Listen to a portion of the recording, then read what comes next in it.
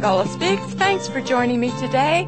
This is Deanna Spingola coming to you from the suburbs of Chicago.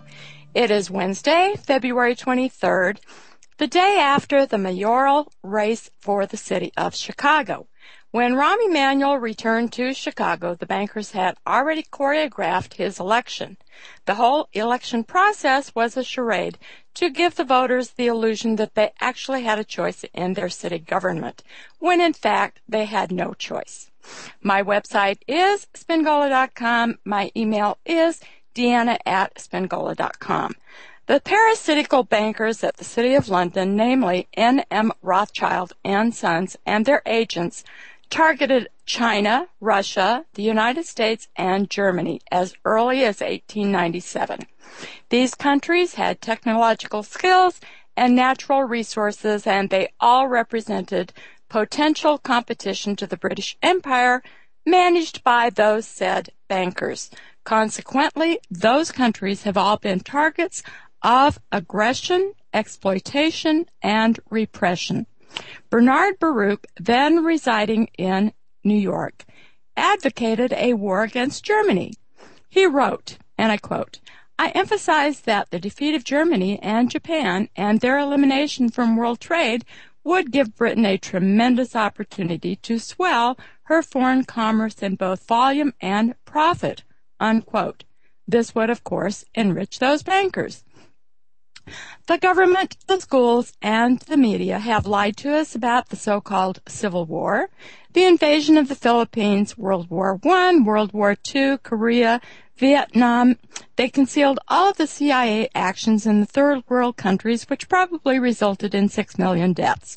They lied to us about 9-11, and remember, the winners always write the histories and define the enemy in the worst possible terms.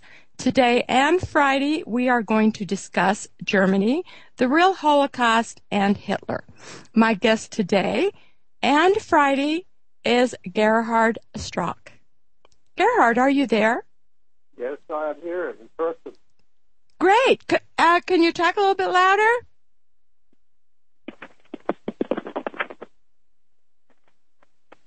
Are you there? Yes, I can talk a little bit louder. Can you hear me Okay, better there now? you are. There you are. And you have a new pair of headphones? Uh, repeat that, please. Pardon me? Could you repeat that? I didn't get that. Oh, I said you have a new pair of headphones.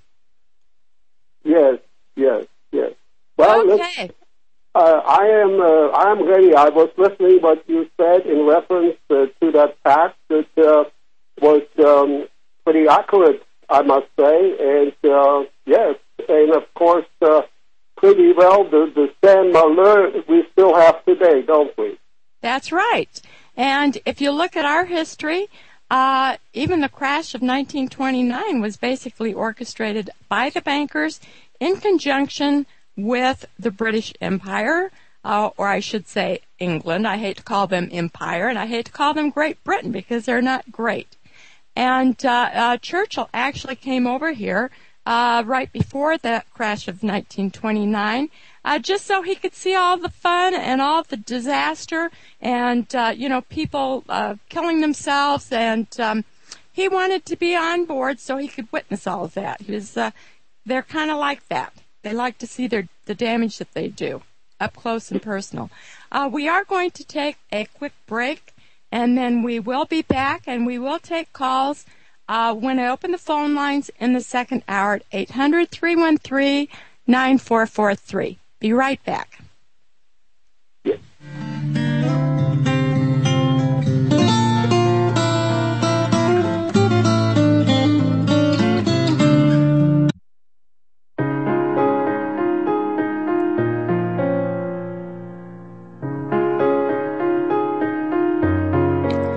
Welcome back, friends. My guest today and Friday is Gerhard Strauch. Did I pronounce that, your last name correctly? Great. Yeah, Oh. right on the, right on. Thank you. I want you to tell our listeners a little bit about your history. And uh, I remember the first time that we talked, we were on the phone for two hours. And we still had lots of things to talk about. But you told me all about yourself, and um, I I really enjoyed getting to know you, and I feel like you're. We just have so much in common. We both believe uh, the facts about Germany, and I hope that we can share those uh, with our listeners during the two days that we're together. Okay, tell us about your history.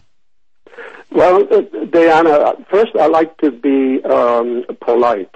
I like to thank John Stadtmiller of RBN um, and to you, of course, uh, to make this possible, to make this connection. Yes, indeed, we had a good uh, two-hour talk, and um, but really to give my whole lifespan as such, uh, I think it would maybe take a couple days or maybe even a week. But having said that, um, I never really have in my entire life, or sometimes when I had to write a resume for an application or something, I talked a little bit about myself.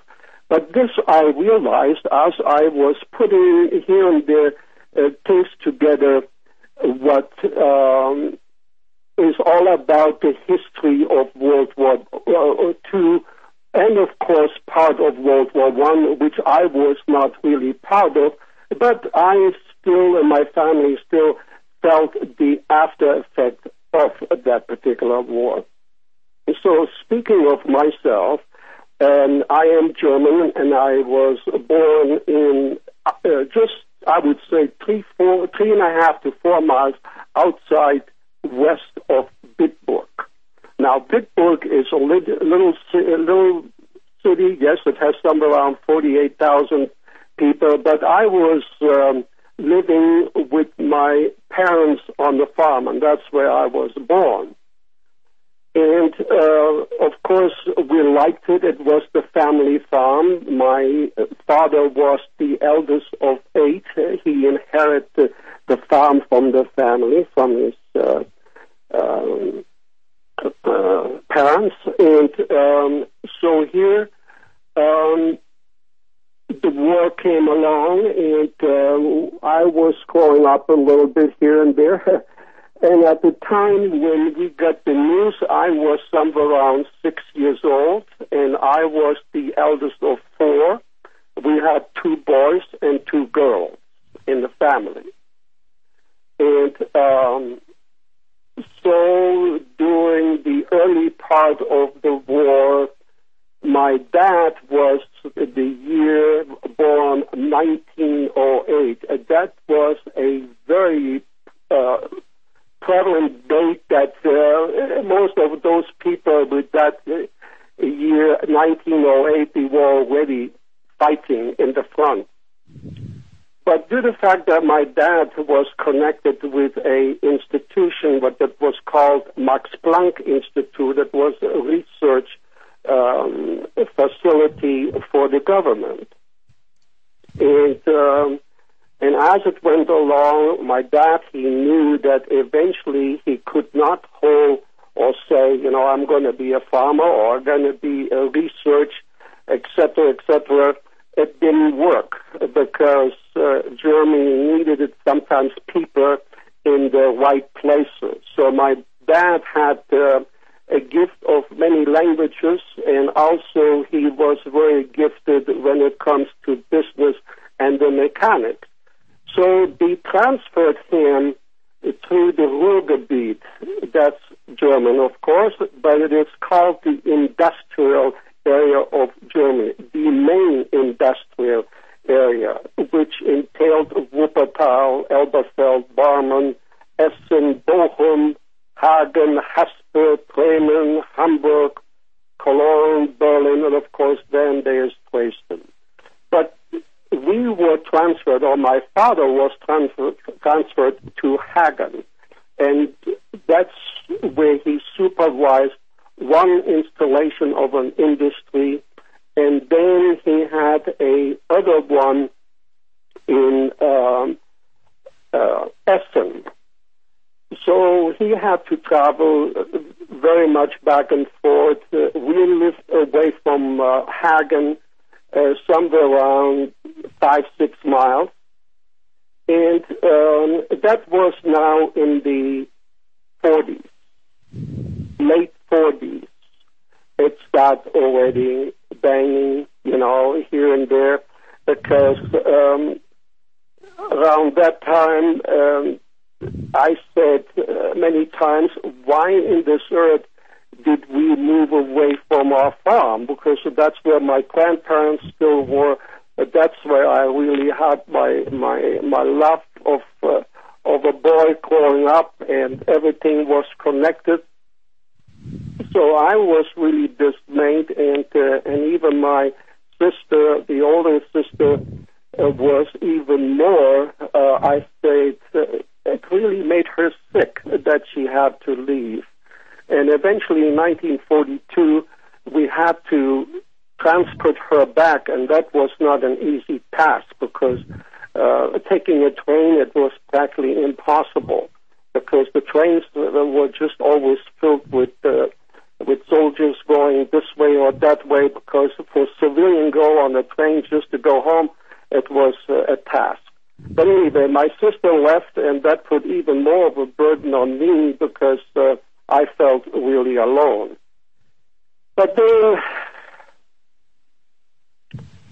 you know, when I thought back this thing this morning, when I realized uh, when 1941 came along, and um, when the bombardment starts, I start going to school Yes, uh, we were maybe an hour or two in school. We were maybe two to three hours in a bunker uh, to protect ourselves. And, uh, and, and this was exactly, I would say, three or four times a week that we had to do this. So education was really um, and run, you could say. The teachers were very accommodating. Sometimes they brought the lecturers down to the uh, uh, to the shelter, and we went on. But many times uh, we were all scared. You know, many of them, particular the, the the girls, were sh- sitting there and shaking because not knowing um, if we were going to be still alive an hour from now, or if we could get out alive out of this basement. Right. And, um, so now you were in the bunkers, you say three to four times a week, and this was because of the Allied bombing? Correct. Yes, because you see there was three stages of alarm, and then when the, the full alarm came, that went doo doo doo doo doo. I mean, you had to run because, and if you didn't run to the shelter, you were uh, reprimanded because uh, you know you were not uh, coherent. So, and of course, the children did this, they, they run. Sometimes the children even run away or they wanted to be with their parents. And um, one could understand that.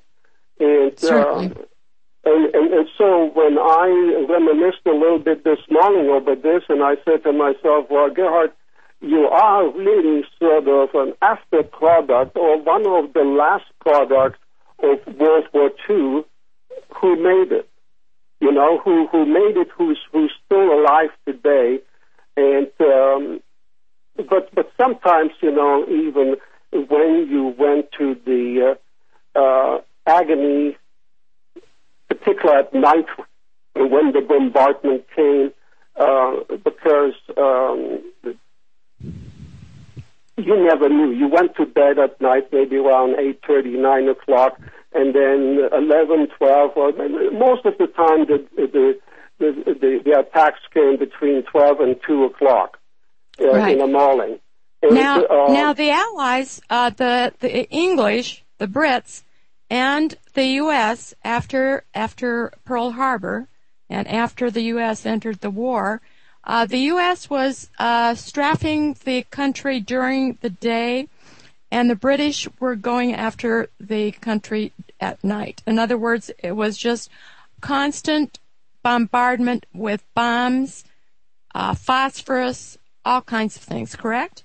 Oh, oh gosh. Uh, yeah, it's so true because the, the, the only part of the, uh, the day bombardments came a little bit more later on, like in 43, 44, 45 was just awful. I mean, you, you couldn't even go in the garden and, and pick something up. The, the, the planes were uh, cruising around, and we were out in the country.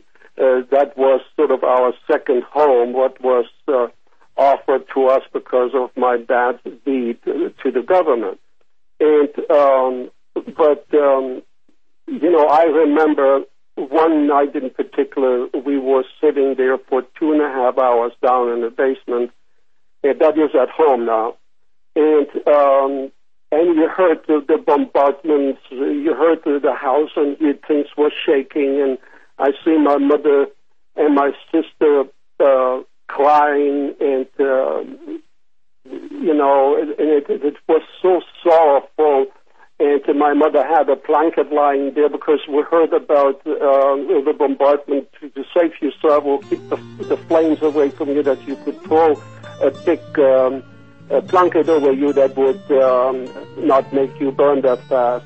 And uh, and so all the, uh, things went. Yes. We have to cut for a break. I'm sorry. No, but hold that thought. We'll be right back.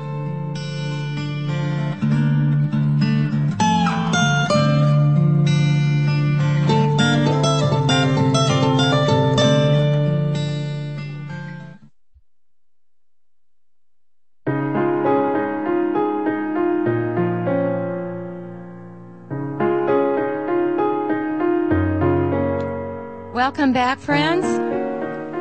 Churchill and Roosevelt had strategy meetings about combined aerial warfare against Germany as early as March 1941 before Pearl Harbor. They decided that they were going to do preemptive strikes against Germany in order to totally and thoroughly decimate Germany's economy through precision daylight bombing of essential German infrastructure. Okay, Gerhard, you were talking about your mother and and the blanket and the, the yes. precautions that you took to keep from being yes. burned. Well, you know, I remember in particular uh, that night. It was sort of, of uh, the beginning of the, the night uh, uh, escapades of bombardments when we came out of the, the basement, and we were a little bit higher elevation than Hagen, the, the city, and all the other industrial cities were, because we were sort of 500 feet above sea level. And uh, so when we came out of the, the, the basement, and uh, we were just amazed of and and just shocked. The the whole horizon looked like a fireball. It was just, you know, it struck you. It struck you that you know that a lot of people, some of our friends, some of uh, our relatives got were right in the middle of this, and you know we helped each other and, and cried together. We prayed, and and sometimes there was that feeling that life and death were such a close companion, and you never knew sometimes on which side you're going to be. And uh, so as a young boy, that uh, made me sometimes really wonder. And it was not this night. It was uh, maybe two weeks after we had another uh, such bombardment, and we came out of the basement, and I heard my dad speaking with my mother, and says that he would like to go and uh, do some checking on some of his friends that he really knew well through his schooling, but also through his work that he needed very badly. But um, so then my mother asked, you know, are you going to go alone? Well, maybe I can take Gerhard with me. So I traveled alone. Of course, my dad, he had a company car that he could use. So we traveled to Hagen. Then we went to Elberfeld. And um, and this is as far as we could go because uh, when you see the smoke, when you when you smell the the, the burning flesh of man, and, and then as we tried to get closer, uh, we could see people lying there all burned like charcoal. And uh, some people were not even dead yet, and when you heard those pains, it, it was just an, uh, awful. It was, uh, you know, I just cannot even get over today with thinking about this. And and then I asked my dad to come, and I looked over a wall, and um, and we were close to the city of Wuppertal, and the river Wupper was going right along there, parallel where we were looking for our friends and relatives, and I stepped on something and tried to look over the wall because I heard some noises down there, and here I seen the river, and all over in the river I seen flames, and, and so I asked my dad. I said, "Look at this. I mean, what what would be this thing down burning, and or, or those lights, or what?" No, he says, "Son, it looks like their body." Those people jumped into the, the river, not realizing that the water didn't help them because phosphate burns in the water or anywhere. You just cannot put it out. We've seen people were standing stuck in the asphalt and you could see the flame just burning all, and you could not even go and help them. If you would step into the phosphate in, in the asphalt, you were doomed. You were doomed. And, and so as I was walking back with my father, um, I asked him, I said, Dad, who's doing this to us? Well, what have we done? What have we done? He says, Son, I wish I would know. I don't have the answer to that. So, you know, then I was backing, or I was walking some here and there backward. I was scared. The dead was following us. And, and as I was walking backward, I hit my head against uh, a lamppost. You know, they had those gas lampposts along on the sidewalk. I hit that so hard that I knocked myself unconscious. I, I fell on the ground, and eventually my dad, he had me on his arm. He says, son, he says, you hurt yourself. Are, are you okay? So it took me another couple of minutes, and I came to. But all the following week, I always felt this dead following me. You know, I had nightmares practically for 20, 30 years afterward that I jumped up in bed and I said to myself, you know, are you still here? Are you still there? I always felt that I was going somewhere down in the cliff and, and sort of a huge flame would devour me. Uh, that's what you carried along. But I don't want to make uh, too much emphasis on me because uh, uh, I am making more mention of the people who went through this agony of uh, this lust of other people who who found it necessary to do this to innocent people. Okay, we we have to go to a break. We'll be right back.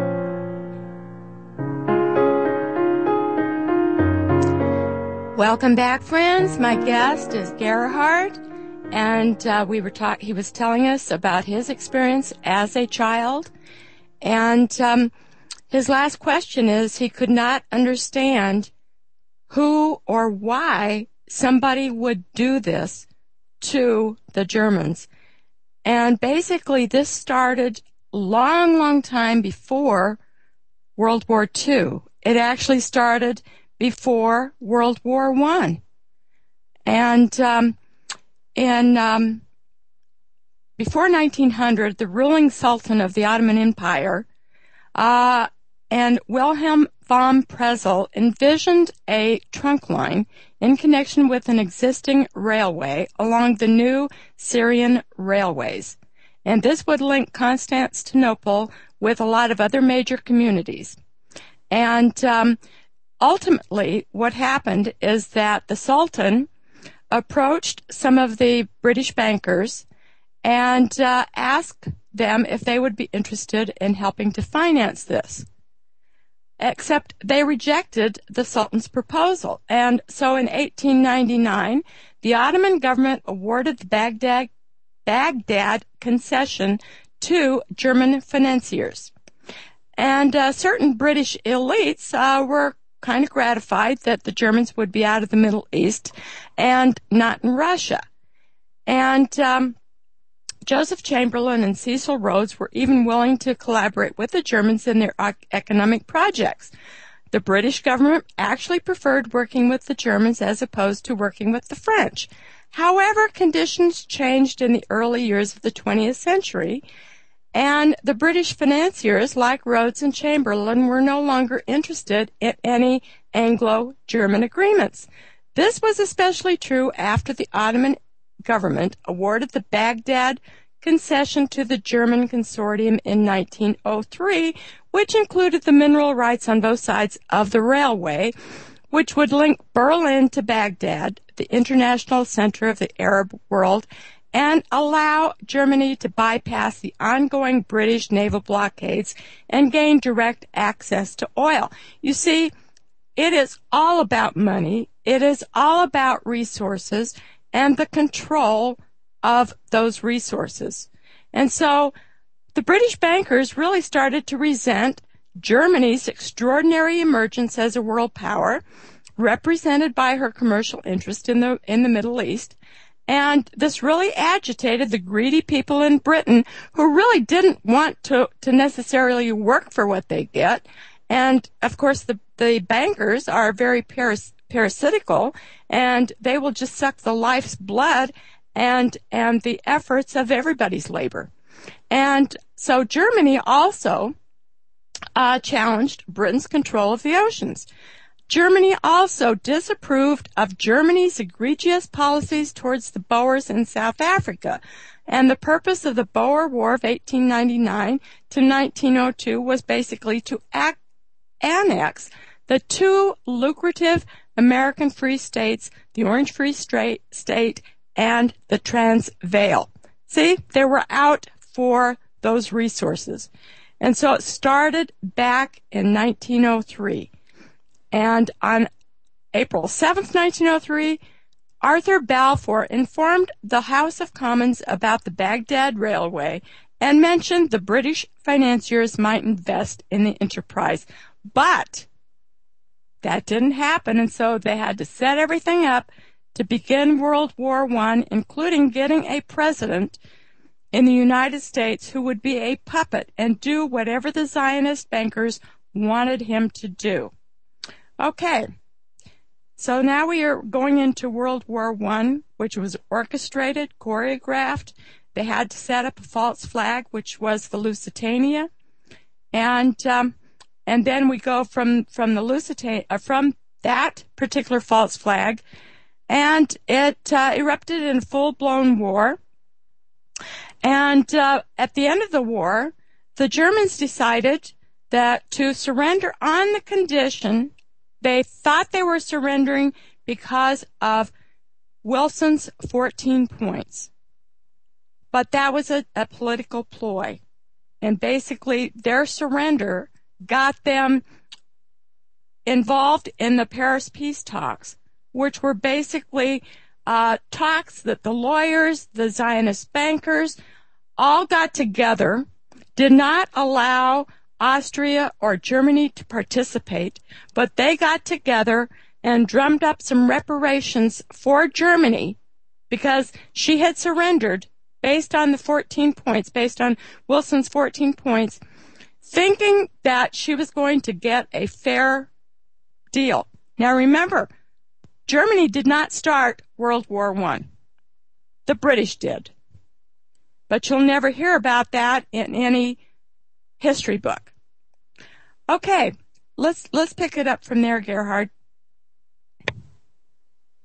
The British did one also has to recognize uh, Deanna because uh, obviously you have uh, recited that history uh, wonderful, and um, you know when you see even like those bankers who hide themselves in a city in the London city, the Smile Square, th- those are where the the real parasites were of greed, even at the time um, when uh, commercial business, you know, tried to conduct a, a gentleman way. uh, to um, to let both parties or let others live also, but it was never good enough for those parasites. They wanted it all, and when they couldn't even get it all, then then they went over to the bloodlust. You know, right. then they became really status, and right. and that to me is so evil. And the most evil thing, even as I'm sitting here and you over there in Illinois, Deanna, it hasn't stopped. And that is so frightening. You see, when I think back to my school years, when in 1945, and uh, of course the war is supposed to have been over, but the dilemma still started for another two years. We had to wait practically close to a year until we could get away from where we lived, and finally we had to move out. We took the house away from us when we lived in Hagen, in the industrial area, because we wanted to get home. We were running out of food. We were running out of everything. There was just nothing. I mean, the German people were running after rats and mouses, uh, cockroaches, just to stay alive, to eat and, and, and you never thought that this could be possible. So finally, my dad finally got somebody on a contract to bring us home to the Eifel, to Bitburg. And it took us two and a half days. Usually it would have been a, a trip for a half a day.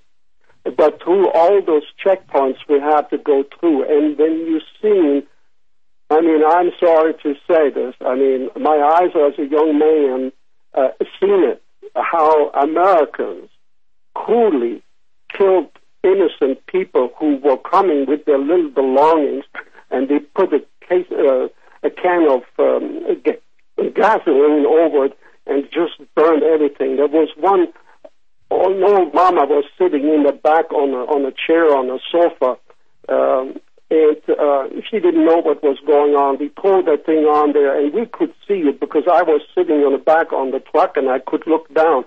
And I wanted to jump down. I wanted to put the the, the, the woman and pull her out, but I was stopped, you know, by by two soldiers.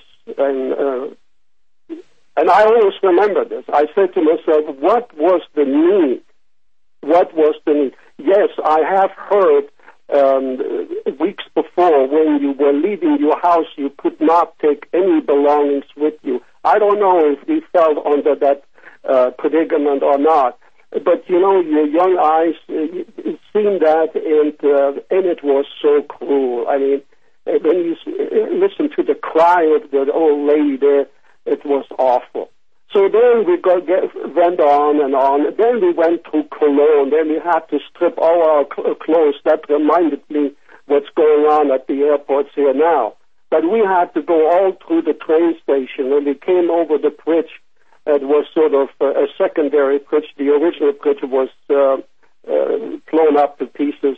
So we had to go through the train station. That was used as a station, what we call in German the Entlausung. That means we wanted to get rid of any uh, diseases you had. They um, put some white powder all over you, and the real buzz make you uh, like if you were uh, just uh, an animal.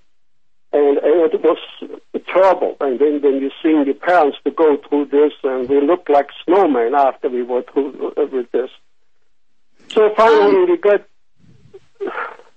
yes you know, during war, during warfare, there is a lot of disease. A lot of people die from disease, and um, so that was probably a necessary thing because the uh, typhus, uh, which was very, very prevalent in Russia, uh, killed so many people in World War One, and we, yeah. we, you know, in our currently I mean, we don't deal with those kinds of things. We, we, you know, methods are different. Hygiene is different.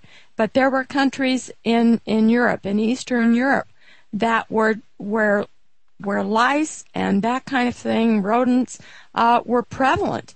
And, uh, these lice actually carried typhus and, uh, people died by, by the thousands of this disease. So that was probably something that, that was a necessity. Oh yes, I'm not saying totally that this was bad. you see, that hit us uh, very strangely as as a young child. You know, I, Sure. I remember that. And uh, of course, you're absolutely correct that uh, it was maybe the only good thing what the Allies did to, to the Germans.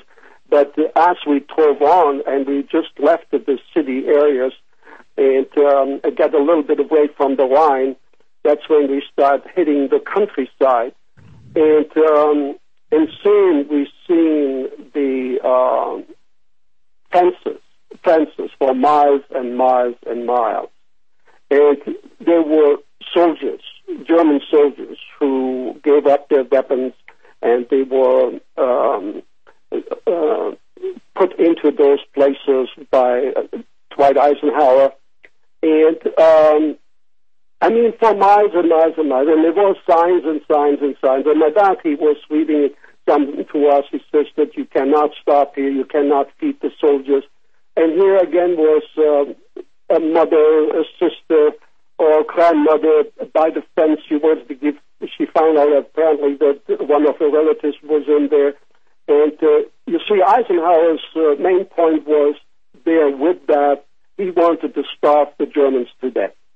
You see, that's uh, when you get this book, for instance, uh, the other losses that will explain to you in details. And we've seen this. We've seen this. And there was one lady, she was lying dead along the fence. And um, and she had sort of a little basket, like a picnic basket. She obviously she was playing something there, and a little girl was sitting on her on her knees, uh, bending over her mother.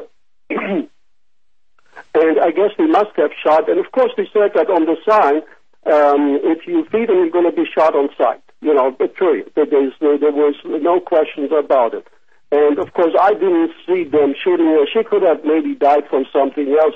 But uh, my dad and my mother sort of said later on that they thought that they seen blood on her, that uh, that she was uh, shot because she she she came to the fence. And, and you see, Deanna, that prison uh, encampment went on until 1947. You see what I'm saying?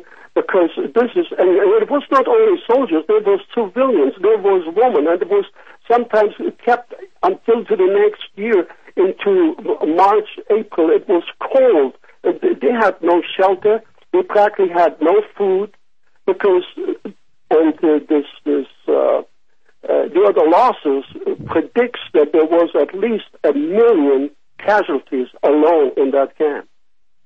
But Right. you see, nobody ever, ever talks about that. And Right. for him, Eisenhower, to be a soldier that he was proclaimed to be, and writing letters, you can go to the Washington archives, you see when he wrote letters back home uh, to his wife, Mamie, Mamie, I hate those Ger- Germans so much and so deep, I could kill every one of them. You? Right. Well, you see, that was their plan. If you read about the Morgenthau plan, that's exactly what they had intended to wipe, wipe out the German race. Right. To castrate every man and woman so that there will be no German left. Now, Right. what have the Germans done? What have the German people done? Because the only thing that they have done, like Hitler, like like Churchill said in 1945, at the end of the war, he addressed the House of Commons and he said to them, "Well, we make we have to make some clarity and some understanding what this First World War has cost Germany. And considering when this Hitler came along and what he has done for this nation in three years, I propose to you, he says, if Great Britain ever gets into this predicament, predicament, he said, find yourself another Hitler.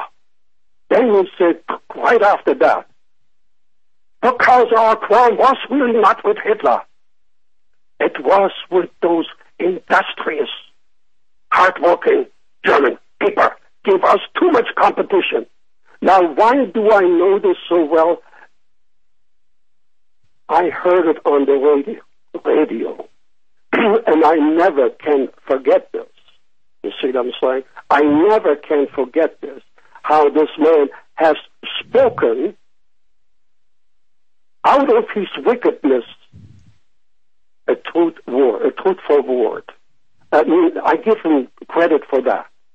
That's the only credit that I could give to that man, because mm-hmm. he was one of the greatest murderers. Him, the Dirty Harry, who what he created to the German public, mothers and children and all people most of the time, just right. wiped them out. Just right. wiped them out. And, and you know, there's, there's no more of a, an agonizing death than white phosphate. And look how we even multiply this around the world. When I say we, I consider myself sort of part of this American system that we give Israelis this miserable, poisonous stuff to keep on to traditional wickedness. Yes. Uh, we are breaking. Uh, we'll be back after a word from our sponsors.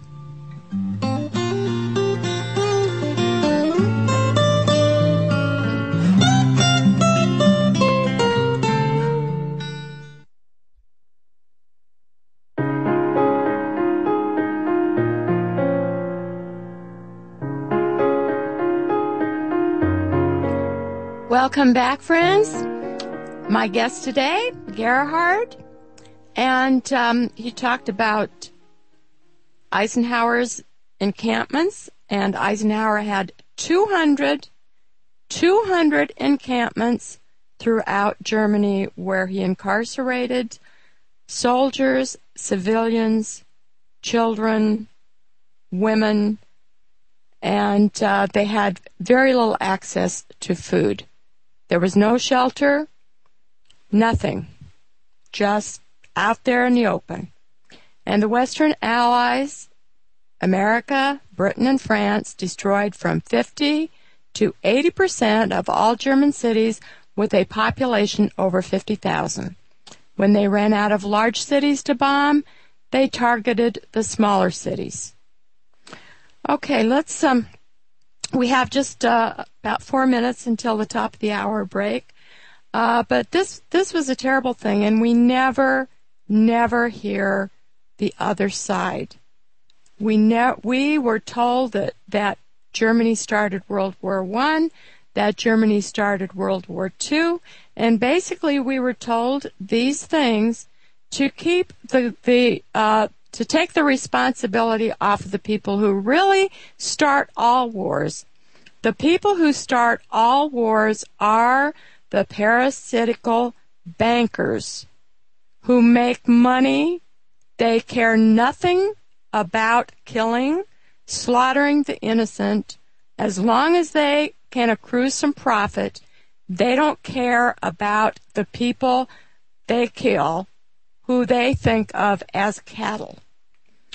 Okay, Gerhard, this is this is a terrible thing, and we in America have never really had warfare conducted in this country uh, in this in in the 20th century, and so we we don't understand. We cannot really understand what the citizens in Germany suffered.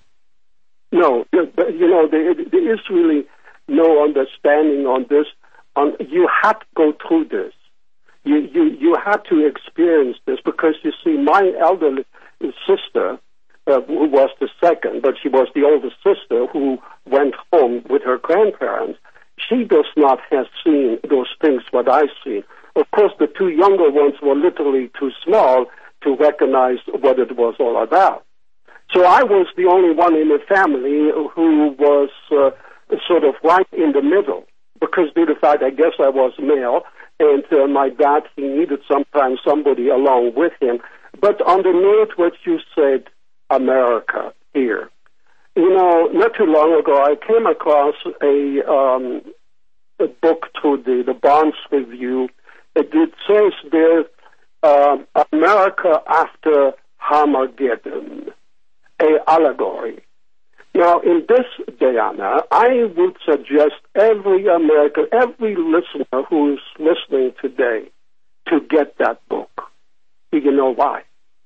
Because that illustrates to every American who is brave enough, brave enough, it needs guts, let me tell you this, to go and see what your nation, and sometimes with the clarity of God behind them, so they thought, to go to other nations and devastate them.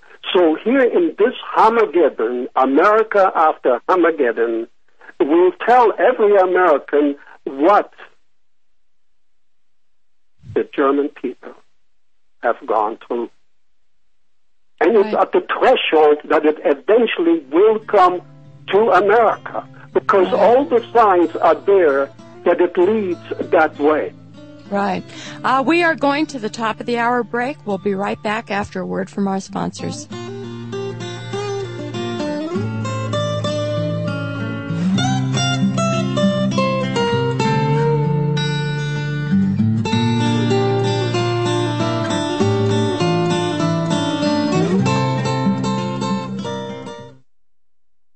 The next round.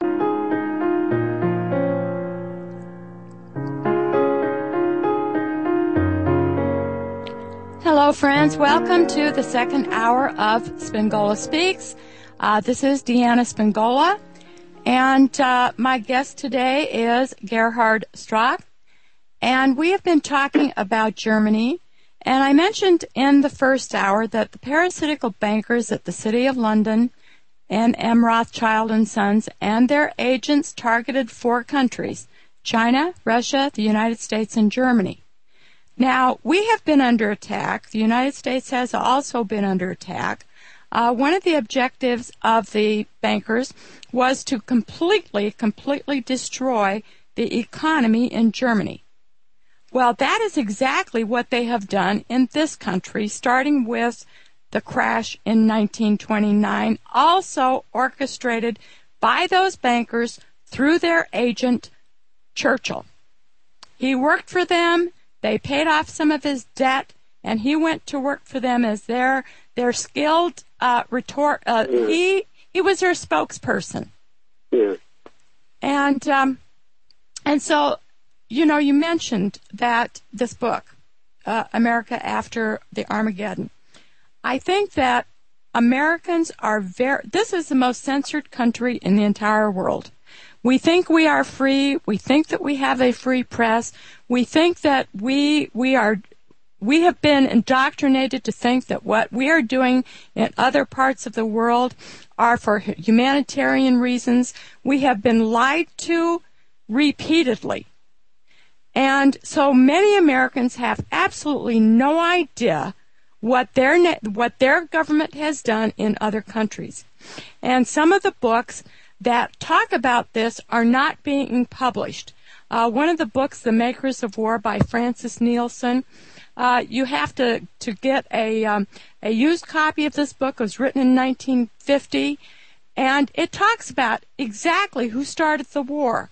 Another book that you cannot get. I mean, you you cannot get. I think the last time I saw it on Amazon, it was $200 for a little paperback. And it's called The World Conquerors by Louis Marschalko. And these are books that Americans can no longer uh, obtain unless they know that they exist. And it tells you exactly who, who starts these wars. And there's been a lot of um, a lot written since the opening of the, the Soviet archives in 1991. But most of the people believe some of the propaganda that uh, that is written in current books that you can get about World War II. And basically, those that is the same kind of propaganda that the government is perpetuating. Uh, the the fourth the Fourth Reich, that's nothing but a bunch of propaganda. And so uh, the alternative media is also perpetuating the lies about Germany uh, just as much as the mass media is. And so you have to discriminate. You have to look at, you have to count the bodies, people.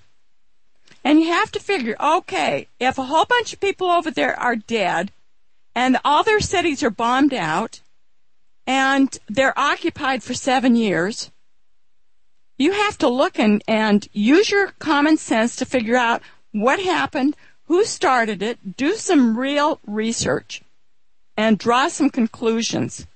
Don't listen to what the media wants you to believe or the government schools. What do you think government schools are going to tell us? Are they going to tell us the truth? No. Uh, we are going to another break and we will be back and, and uh, we will take some calls at 800 313 9443. And, um, you know, you're, you're listening to the truth today and it might, it might be, be hard. Be right back.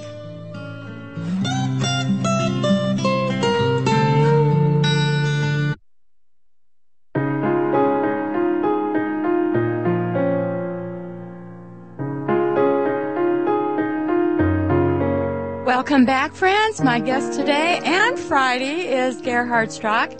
And, um, you know, I mentioned that, uh, that the U.S. has been a target of the bankers, uh, beginning with the 1929 crash. And now you have to look at the trade agreements as well as the bailouts, and it accomplishes the same thing, but it's just subtle. They don't bomb you, they just destroy your, your economy from within. Okay. Gerhard. Yes. We well, do have. Uh, go ahead. Um, with your permission, Deanna, I'd like to go back to one little segment of uh, World War One and its completion, where okay. they start to split or to to, uh, to divide the, the, spoils. And you see, um, here I have found out that Great Britain at that time cashed in on Germany 5,000 locomotives, 150,000 railroad cars, 5,000 trucks, 2,800 ships, boats or whatever who were uh, river um, ready and also some sea ready. Now, then they start going to spoils.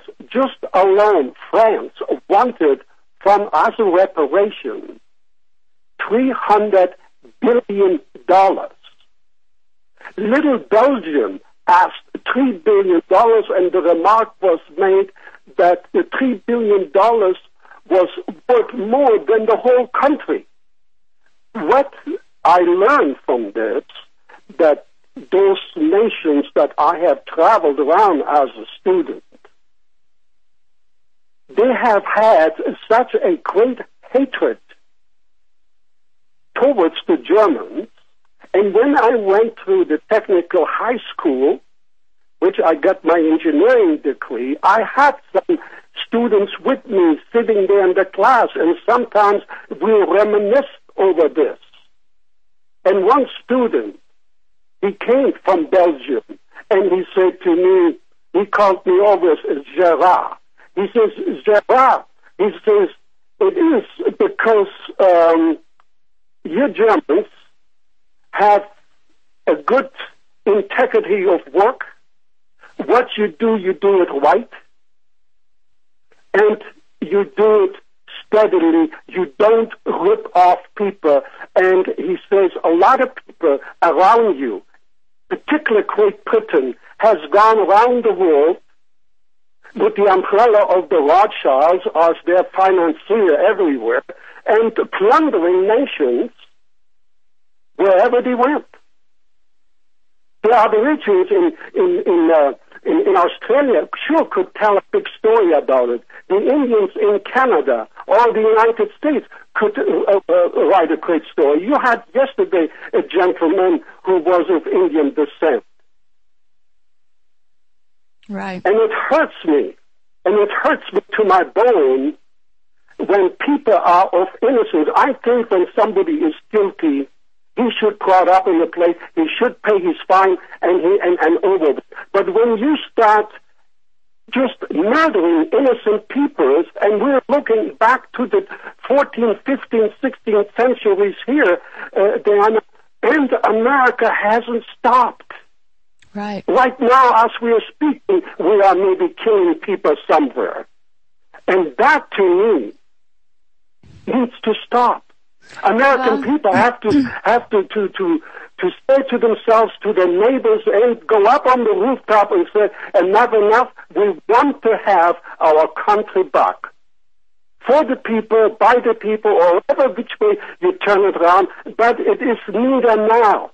The, the people are only being used the same. This is why I'm sometimes very cautious to put a big heavy stamp on Great Britain. Great Britain was as a lamp, you could maybe say a dumb lamp, being used at that time through the 1700s and early, uh, 1800s, and then when World War One came and two, then Britain was exchanged for whom? The U.S. You see, Right. the U.S. We are now their patsies. We are now their sacrifices for their ploy. And that to me, that to me is so sad. Now, I encourage the listeners to get themselves the book. Hitler was born in Versailles. Who wrote this book? Believe it or not, it was a general from Belgium. General Leon Degrelle. Fantastic individual. Honest. And what he delivered in his book, it's, it's just gold work. You know, it's, it's just an icon. And, and then, of course, I would even say the people should never forget to buy the book of the uh, ruling, uh, ruling elite. And of course, that's by Deanna Spingola. And that's a fabulous book. That's, yes, Deanna, that's a fabulous book. I mean, thumbs up for you. Because, you know, you, you're an American woman and, and you have guts. You, you, you have what it takes to be a real woman and, and, and speak for your country. There are not too many around. I learned early in my uh, discovery, somebody came up to me once and he said, Gerald, when you try to tell the people the truth, don't forget, please, do not forget to make the people smile when you tell them the truth. Because if you don't, eventually they will kill you. Yeah. And that's right, Deanna. Yes. That's right.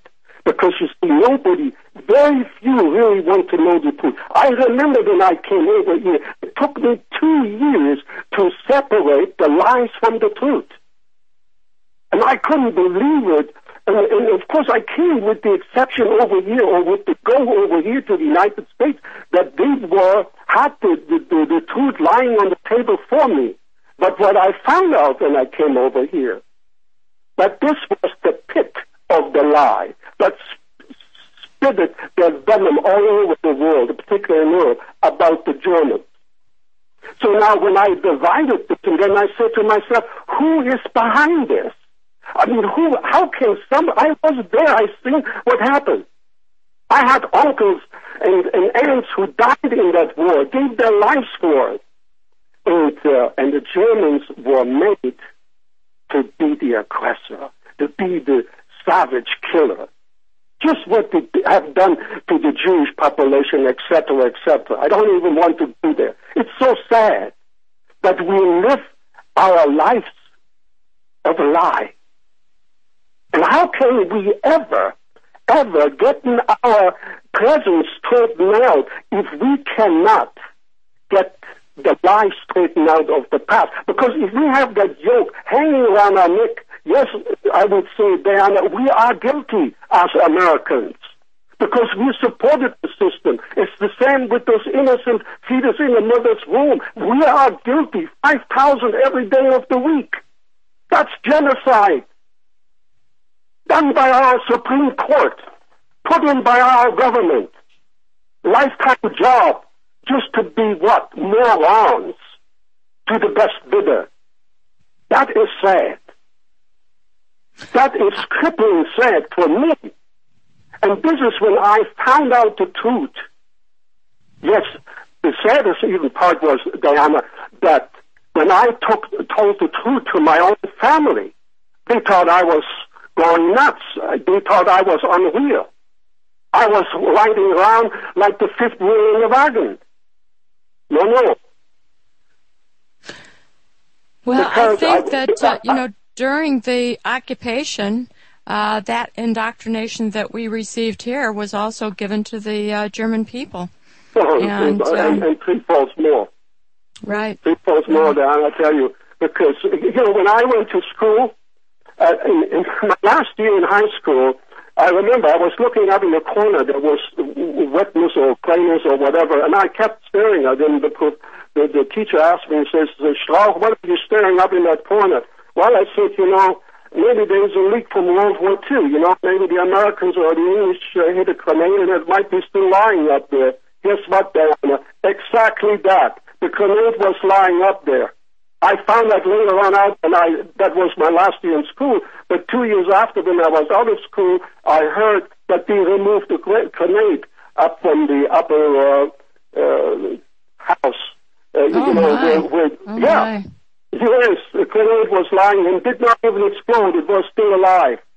Oh my goodness. Yes. Oh, now, my goodness. now listen to this. I had then I promised myself that's when I promised myself. My last year in high school, I said, Gerhard, there's something wrong. When I, when I see the teachers try to put the blame of uh, atrocities, of this dead that still was following you.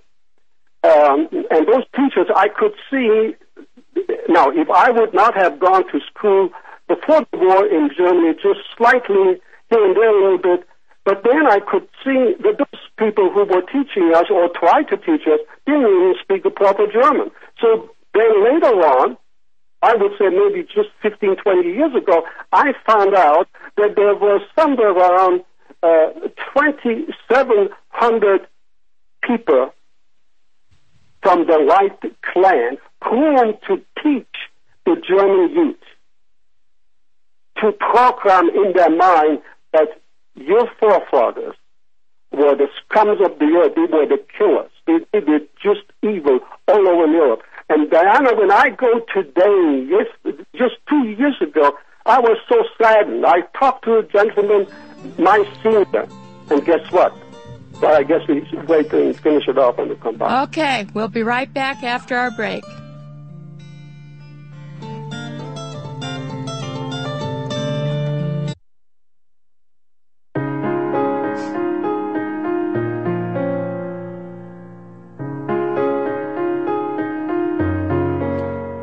Welcome back, friends.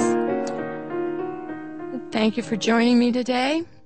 Uh, after World War I, the British blockaded all food going into Germany for eight months after the Germans signed the armistice.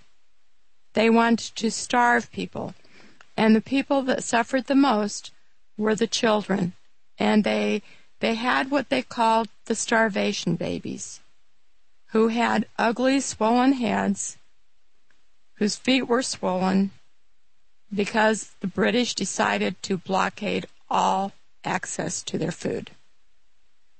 Okay, um, Gerhard, you were talking about the teachers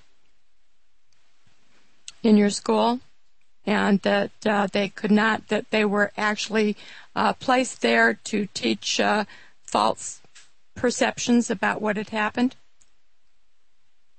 Oh, did? Oh, okay. Uh, let's take a call from Lee in Georgia. Hello, Miss Spingola. How you doing? I'm good. How are you? Oh, a little out of breath. I'm kind of moving furniture. um, it was interesting when you were talking earlier about uh, uh, and I'd like your guest's opinion on that, on this as well. When you were talking about how you can't trust anything coming out of the schools, and I know when I'm trying to get people to understand the dangers their children are in when they're in the public school, is I, I, I ask them if they're aware of the ten planks of the Communist Manifesto and what it says about public education. And when they say no, I explain it to them and I give them, you know, information they can go on the internet, look it up, research it for themselves and then they always want to come back and talk all these excuses about why they don't have time to homeschool and this, that, and the other. And I, I try to tell them, you know, my wife, she raised three children as a single mother, and she was going to school, working, and homeschooling her children. And you know, this was a time when during the '60s, you know, or I mean during the uh, '80s, and it was kind of like when my mom was raising me and my two sisters by herself. You know, just women didn't have a whole lot of, of, of real help like they do today. And you know, I try to get. I'm trying to figure out how do I reach these people and really get them to understand they've got to get their children out of the public school system. I mean, I, I just I can't figure how to do it. I mean, right, and uh, people are so distracted. Most, a lot of women are working outside of the home, and um, quite frankly, they're in a state of denial. They figure everything's going along just fine, and it's because they don't have a sense of history. And if you don't have a sense of history, you have no idea what is going on now. That's why it's so imperative to have accurate information. Gerhard, you left yes. for for a while. Did you take a look? Yeah, the, the line all of a sudden disappeared. Yeah, I heard the gentleman saying about uh, teaching, and I know how crucial it is because uh, the, the deceit, what the how they tried to teach the, the the German youth after that war, it's it's just terrible. And I can see the same thing happen over here. But we touched on the point of um, the woman. You see, the woman is the queen really of her castle. And when we start throwing that queen out of her castle and we throw her to the wolves, that's when we went into big trouble. Because you see, um, the woman doesn't really belong in the workforce because uh, life is too precious for that. Because if man cannot support his family, then we are at the end. Oh, I agree. I mean, I remember when I was married and raising my two children, my son and my daughter. I mean, I absolutely laid down the law. My wife did not work, and uh, you know, and and you know, it, it's not that these mothers I talk to and the fathers I talk to don't know that there's a problem in the school system. They know. They just always find these excuses about. And one of the big ones I hear is, well, if I don't send my school to my child to school, this, they're going to do this and that. And I tell them, wait a minute does the law not say that you are guilty if you neglect your child? And they say, yeah. And I said, well, don't you think allowing the government to educate your children lies is not neglect? Yeah. And yeah. it just doesn't register with them. Yeah, who, who is more closer connected with one's child than the mother first and the father?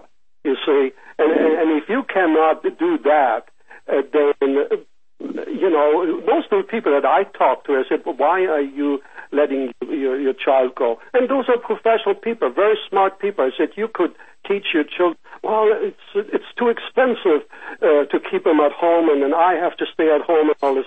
Well, you see, they don't even know mathematics. They don't even know how to count.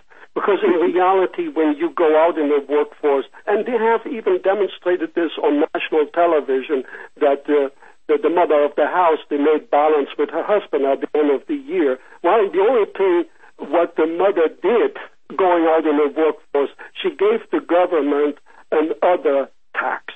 You see what I'm saying? That's the only thing. It's good in the whole thing for the government, but it's not good for the family. And you can see this. We can see this every day how our society, our community is uh, vanishing off good ethics. I agree. Uh, one more comment, and then I'm out of here. Um, you know, I. Oh God, I don't even know how to say this. You know, um, just spit it out. I, I just really wish people would educate themselves, and yeah, I wouldn't have a problem with a government education program if they would teach the children the truth. But I can't yeah. help when I say that.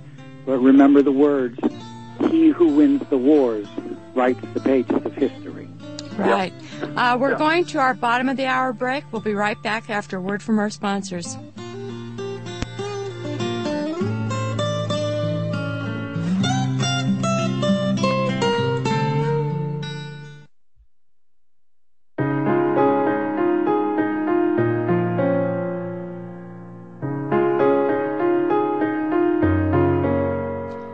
Welcome back. My guest today is Gerhard. And uh, that book you mentioned, Hitler Born at Versailles, I believe Yes. that's available online for uh, as a PDF file. I have a hard copy of that book, but uh, I do believe it's also available online. And if uh, our listeners just uh, Google it, you might be able to read it online. And it is a wonderful, wonderful book. Yes, yes, so too. Because you see, uh, Deanna, he was the only uh, general who got away with his life. Because actually, he flew himself off to uh, to Spain uh, to get away from this uh, Nuremberg uh, cabal thing. And Right. um, and he was a gutsy fella. Hitler told him once in private. He says, "If I ever had a son, I would like him to be like you." Wow. Wow. Yeah. Uh, we we do have uh, two more callers on the on the line. Uh, Larry, you've been hanging on for a while. Uh, welcome to the program. Hi. Uh, yeah, Germany is, in my opinion, still occupied today by uh, foreign armed forces. But Gerhard, didn't some of the uh, German soldiers from World War II uh, finally receive pensions for honorable service uh, to their uh, government in, in World War II? That's question one. Um, yes or no. Why do I say yes or no? Because if you were um, stepping over and, and joined the Bundeswehr, and there was great animosity towards the SS, the elite. You see, the SS was totally blackmailed for no reason whatsoever. Can I give a little history of the SS real quick?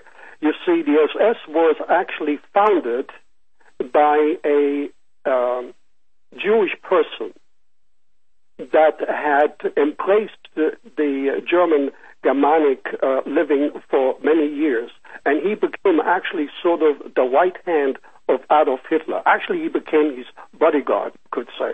He was the one who founded the SS. Why? Because Germany was so greatly infiltrated by the Bolshevik um, um, Zionists from 1916 during the World War One. They start infiltrating into Germany because you see the German could not really concentrate too much what was going on. They were very busy with the war, and they took practically over the entire um, uh, apparatus of uh, government and um uh, you name it. What what makes a society function, they took it over. So, and this is what this Jew, his right hand man, he could see that those people, those Jews, those Zionist Bolshevik Jew, came in to Germany for a different purpose. They didn't come there to be a good citizen. They came there to prepare to prepare Stalin, who was just waiting east of Poland to invade Germany and the rest of Europe. You see. And then he gave the number one to Adolf Hitler as the, SS, as the SS, and number two belonged to him. Why did he uh, um, found this, this group? Because he knew that Hitler needed protection, and for that reason, for that reason alone, they were founded. And they were founded on a very ethical principle, not the way they were portrayed by the media and in some of the uh, totally absurd books. So, yes. Now, if you were a SS individual, you had a very, I haven't seen or heard of a SS person who gets a pension from, from, from, from the government. Because actually, uh, two years ago, I experienced uh, with a group of Germans that we went to the Ukraine, to the um, westerly part of Russia at the border, and uh, we crossed into Russia, a vast fields of nothing. It's just steppe and land and, and nothing. And that's where a lot of great battles took place. A lot of soldiers lost their life there, and they couldn't bury them during the winter time. So they are lying just everywhere around with their dog tags still around the skeleton. So we went and picked up eight of them, and we brought them over. But what we find out through their dog tag, that they were all SS. They belonged to an SS division. Now, a brother who was there, who found his brother there in the field, and he had to bring him over to the Ukraine and bury him there. And then I asked him, I said, why do you not take him home uh, to Germany? He was a German soldier. He says, I cannot do that, Gerhard. I said, why? Because according to the rules and laws in Germany now, SS were not an honorable soldier. I said, well, he fought for his fatherland. He fought, he kept communism out of Europe. If communism would have entered into uh, Europe, I mean, the continent America would have been gone also. And he agreed. But he says, yeah, there's nothing I can do. He says, they would stop me ice cold. Ice cold if I would bring my brother over there. Now, that's the, the story I heard right from, from a person's um, mouth that his brother died there. Then there was another lady with us, looked for her father. She was 69 years old, never met her father. And so she went through very great hardships. It took her two and a half weeks, and we stayed with her. We, we supported her. She found her father too. And she asked me, Gerhard, what do you think I should do with my father? I said, you know, your father at that time, he did his best for the country. He died here, he fell here. That's where I would leave him. I said, I would not move him. I would make him a nice new grave right here on the spot where you found him. I said, that's where I would, that would be the most honorable thing than to bring him over to, um, to the other side. And you cannot bring him home. You have heard that from, from our friend Dietert. And I said, and it doesn't it doesn't make sense to to move him up here and bring him over there because um, he died here. Because actually, yes, it would be nice if the German government, well, of course, the German government today was the same government what uh, during World War One and right after. The only true government, a leader for the people of Germany, a, a leader with guts, was Adolf Hitler. And he, he is so mutilated uh, that I have hear, heard from him about here in this country for 52 years. I mean, I could just write a book, maybe even five books, uh, about uh, the absurdness what they hanged on that man because he was a total gentleman and a scholar. He had such a great feeling for fine art. But he said that he uh, that he was uh, uh, uh, did not consider God. Yes, he did. He prayed. He even had put on the German buckle the Gott mit uns, that means God with us. Now, if he was totally anti-God and anti-this, and he was a homosexual, then he was a Rothschild, then he was this and this and that. But then if you go to the real archives, and of course, um, yes, he was, and, and of course, um, dignitaries who have met with Hitler, have met with Hitler, shook his hands, bargained with Hitler, dealt with Hitler. He says there, there was nothing greater than this. For instance just what I, I uh, recounted earlier what Churchill says about Hitler, that he was, uh, yes, he brought Germany back, Britain. If you need, if you need uh, somebody to fix your country, get yourself another Hitler. And that was the truth. You see, the man had a heart for its people. He didn't go with this uh, uh, this crippling stuff of the local government then. It was the same cabal what we have here in Washington today. Not there for the people, just for their own for their own pockets. It was the same thing over there. And Hitler could see this. He could smell it. He even said it in his book Mein Kampf. I read both books in German and in English. I mean, the man, he was an icon. And I wouldn't say this, believe me. I see through the lies and I lifted the, the truth very gently. And, and, and let me tell you something. When you have discovered the truth once, it would be very foolish. Actually, it would be uh, disgraceful to believe a lie. Yes, well, I, I had an uncle Heinrich uh, that was in an officer in artillery unit in World War II, and uh, I don't think he was SS, but he never turned against his nation, and he did receive a pension. That's how I knew about it. The second question was, uh, what do you think of Switzerland, as they were neutral and able to funnel the bankers' money both ways to fund the war on both sides? Well, uh, you hit the nail on the head because you see, uh, why did Germany lost the, lose the war? Germany lost the war because of deceit from its own high top generals, the aristocrats, with the name of von, zu, and Count, and all this whole thing. See, and they despised Hitler because he was just a little corporal from World War One. Also, a very high decorated one was Adolf Hitler. But you see, if you were not of the line of the, the blue blood in Germany, then you are sort of what the Jews call us, um, the Goyim. That's what the aristocrat thought of the rest of the Germans. That the, the you know the, the rest is nothing. You know the ones who have all the medals and who have all the the dignitary stuff. They are the real people. But let me say this: those are the people who gave uh, Hitler away. And Hitler was so honorable, he never could believe when a man gives his honor, honor to the country or to anything that he would step away from that and he would abuse it. So that's why he trusted.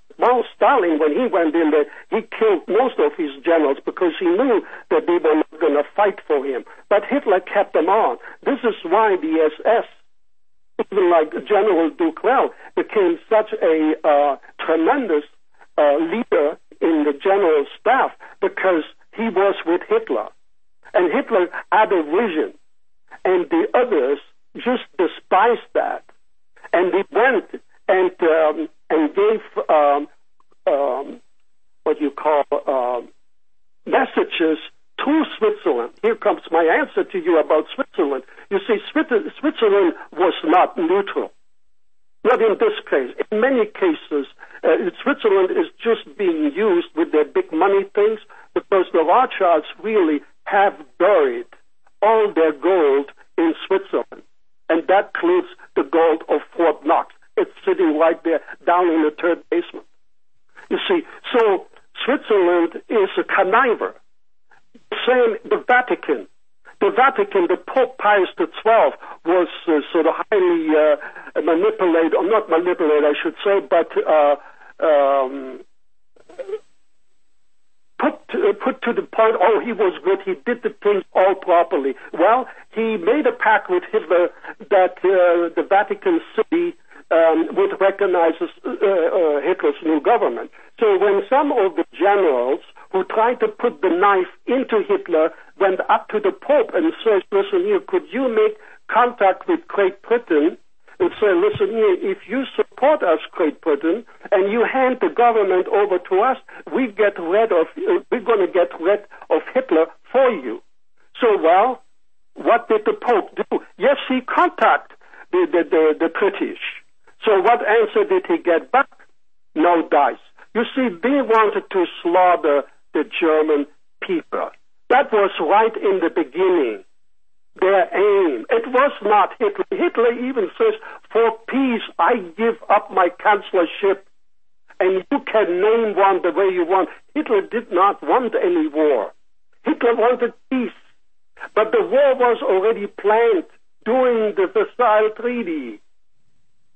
It was a done deal. And, and of course, and Hitler tried for five solid years to bargain with the Brits, those connivers, and with the Poles. They always say the poor Poles, what Hitler did to them. While the Polish High Commissar, you know, he was so uh, beefed up by the Brits, by the French, and Roosevelt, oh, we're going to be there for you, whatever you do, English towards Germany, because we're going to uh, back you up. Well, you see, what did he do at the Versailles Treaty? He gave many of the, the things away, the states away to the Poles. The Poles went in there and slaughtered the Germans with no weaponry whatsoever. They used hammers, they used axes to kill the people. Nobody ever talks about that. And Hitler, for five years, he fought for this. He says, enough is enough. I cannot take it anymore. I cannot say that I'm a counselor over people and I see my people over there innocently being slaughtered away. And that has to stop. So this, this, this Polish clown there, he makes himself a wooden horse and I had it painted and all, it's set on there, and uh, then they took um, painted pictures. So he was going in between already through the Brandenburger Tor that he went marching right into Berlin and take over the the the, the, the German government. I mean, that's what you call arrogance and stupidity. And he wouldn't listen. And Hitler gave him practically everything. He says, I pay every reparation to you, what, what I cost over there to get my people free, but let's make peace. Let's make peace. No, he didn't want any peace. He didn't want no peace because they were promised by the, by the prince, by the Americans, uh, that uh, everything is going to be okay for you because uh, you're going to be the new leader of Germany. Yes, yes. Right. Well, and we're and we're going to talk some more about that on uh, on Friday. Okay, Larry, yeah. did you have some other questions? Well, I just wanted to relay real quick. Uh, Heinrich told me that his artillery unit pushed just outside the capital of Russia. He said to me, he said, "Now you were told that we were out of ammunition and out of fuel and freezing to death." He said that was not true. The combat trains were running. We had plenty of fuel and plenty of ammunition, and we were within artillery range of the capital. And he said, I never understood that order. And I said, what order is that, Uncle Heinrich? He said, we were ordered not to fire on the city. And it was those generals that gave that order. Exactly, Deanna. It's exactly Exactly. They, they have estimated Berlin has the, the greatest archive of, of those battles in the, in the east there. And like this is how we found the, those, those individuals, this lady's father, you know, out, out in uh, the other side of Ukraine. Um, uh, what year was uh, that that you did that, Gerhard? That was two years ago. Oh. Two years ago, yes. Two years ago. I, I supported them. I went there. I spent a month over there And um, yes, because uh, it, it was quite a big, and, and I did it out of gratitude because I figured I never did anything for those brave men and the cruel death. What the when I found out how those poor soldiers were um, given away, given away, he said a, a, a quarter million soldiers died because of the deceit of the big generals. And, and, the message went through Switzerland to the Switzerland to, to Moscow. Okay, we've got to go to a break. We'll be right back.